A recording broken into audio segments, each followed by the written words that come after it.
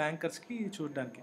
Total project cost fixed capital ఫిక్స్డ్గా ఏ asset capital ఏంటి working capital ఏంటి టోటల్ బ్యాంక్ లోన్ ఎంత కావాలి ఎంత తీసుకున్నారు ప్రమోటర్ కాంట్రిబ్యూషన్ ప్రమోటర్ అంటే ఎవరైతే ఇన్వెస్టర్ ఎవరైతే ఓనర్ లోన్ తీసుకున్నారో అతను ఎంత contribution ten percent five percent లేదా ట్వంటీ పర్సెంట్ టర్మ్ లోన్ ఎంత? వర్కింగ్ క్యాపిటల్ లోన్ ఎంత?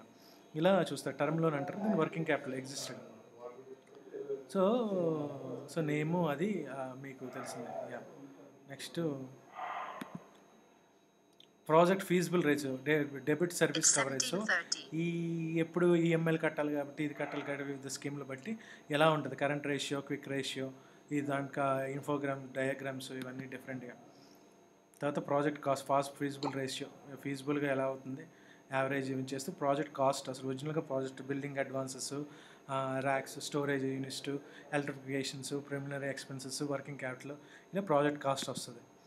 సింప్లిఫై చూడడానికి working capital competition working capital consumer consumers stock in hand work in progress finished goods ఏదైనా credit ఇస్తారు లేదా డైరెక్ట్ డైరెక్ట్గా మీరే అమ్ముతారా ఎలా అమ్ముతారు ట్రాన్స్పోర్టేషన్ కాస్ట్ ఎంత రిటైల్కి డిస్ట్రిబ్యూషన్ కాస్ట్ ఎంత కంప్లీట్గా వర్కింగ్ ఎక్స్పెన్సెస్ రిసీవబుల్స్ ఇప్పుడెప్పుడు ఎలా వస్తాయి డైరెక్ట్గా డబ్బులు వస్తాయా డైరెక్ట్ సెల్లింగా లేకపోతే నెమ్మదిగా వస్తాయా మంత్లీ మంత్లీ డబ్బులు వస్తాయా మీరేమి పే చేయాలి టోటల్ వర్కింగ్ క్యాపిటల్ సో జీతాలు ఎంత ఇవ్వాలి ఏంటని వర్కింగ్ ఆపరేషన్స్ కాస్ట్ ఎంత ఉందో లేదా లీజుకి తీసుకుంటే లీజ్ ఏముంటుంది తర్వాత annual sales estimated annual sales revenue వేస్తాం చార్ట్ టో టోటల్ ఇయర్ ఎక్స్పెన్సెస్ ఒకలాగేసి తర్వాత అప్లికేషన్ ఆఫ్ ఫండ్ ఎలా వస్తుంది? బిల్డింగ్ అడ్వాన్సెస్ ఇవన్నీ కొన్ని ఇన్వెస్ట్మెంట్ ఉంటారు కదా దాన్ని. తర్వాత మీన్స్ ఆఫ్ ఫైనాన్స్ సో ఇక్కడ ఒరిజినల్గా టర్మ్ లోన్ ఎందుకు తీసుకుంటున్నాం వర్కింగ్ క్యాపిటల్ లోన్ ఎంత? టోటల్ లోన్ ఎంత? టర్మ్ లోన్ కాంట్రిబ్యూషన్ ఎంత మీరు చేస్తున్నారు? వర్కింగ్ క్యాపిటల్ కాంట్రిబ్యూషన్ ఎంత?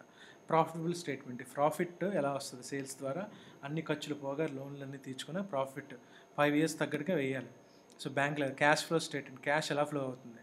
రిజర్వ్డ్గా ప్రతిరోజు డైలీ క్యాష్ ఫ్లో అవుతుందా? లేకపోతే త్రూ సో ఇవన్నీ క్యాష్ ఫ్లో కూడా చూస్తారు. తర్వాత బ్యాలెన్స్ షీట్ బ్యాలెన్స్ షీట్ మే ముఖ్యంగా బ్యాలెన్స్ షీట్ తర్వాత repayment of term loan repayment ఎలా చేస్తారు టర్మ్ లోన్ అనేసి ముందే చెప్పాలి.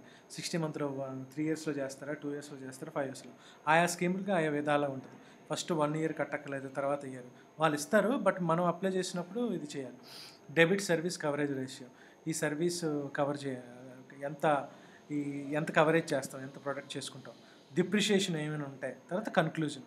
దీనికి మీ ప్రాజెక్ట్ ఇదంతా కంప్లీట్ ప్రాజెక్ట్ కాబట్టి దీనికి మీ ప్రొఫైల్ అటాచ్ చేసి ఓకే అనుకుంటే ప్రొఫైల్ అనుకుంటే అప్పుడు మీ చెక్ లిస్టులు అడుగుతారు. ప్రాజెక్ట్ రిప్తో పాటు మీ ఆధార్ కార్డులు పాన్ కార్డులు ఇవన్నీ.